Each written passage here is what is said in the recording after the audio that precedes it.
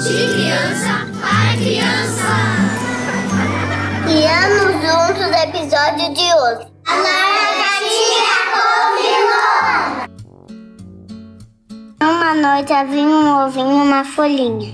Quando em uma manhã de domingo, saiu do ovo uma lagartinha esfomeada. Na segunda-feira comeu uma maçã. Na terça-feira comeu duas peras.